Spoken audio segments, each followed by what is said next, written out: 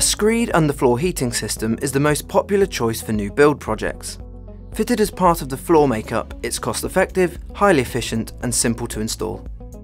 The strong and flexible heating tube is clipped into the insulation before the screed is poured, whether sand and cement or a liquid screed.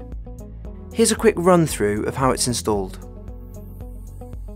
Start by covering the insulation with a polythene protection layer. You can pick this up at a local merchant. This protects it from the screed. The tube fixing system can then be installed. We're showing Nu-Heat's Clip Track. It makes sure that the tube is evenly spaced and helps to create a uniform and tidy install. Staples hold the clip track in place and also guide the heating tube through any doorways or corridors.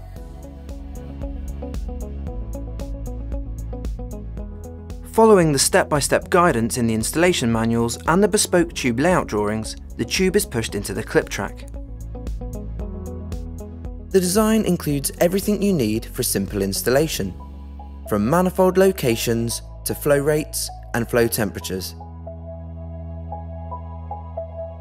If you need any support or have questions, our qualified and experienced technical team are just a phone call away.